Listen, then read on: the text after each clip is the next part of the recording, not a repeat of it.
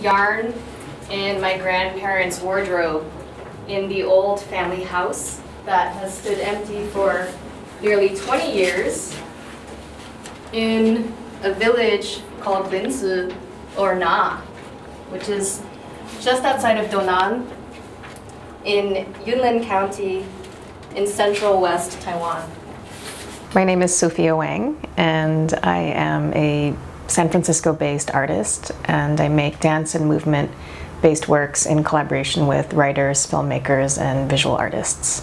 I also do some cultural programming and curation. One of the things that I was really interested in doing during my time here in Taiwan was going to the old family house that my father grew up in, Yunlin County, um, near Dounan in a town called Linzi.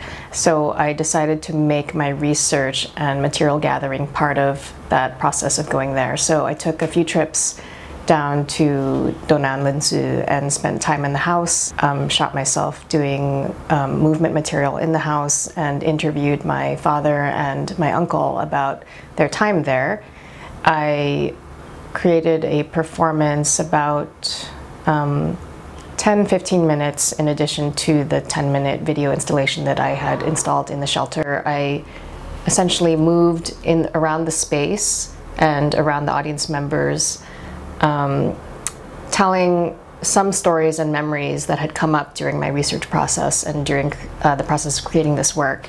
Other myths that had come up in relation to my installation in the space um, that, that seemed relevant because of material and the process of going underground to dig into history. The, the process was interesting. The material I had created um, was in direct relation to the physical space of the shelter, but I wasn't actually expecting there to be as many people as there were. There were like, what, 40 people down there? So um, it was a really dynamic experience transforming the material that I had developed into the physical reality of the space that we had that day. And it made sense to me for a project that was about moving into a historic space and then trying to create an imagined space that you're, where you're combining the present and the past.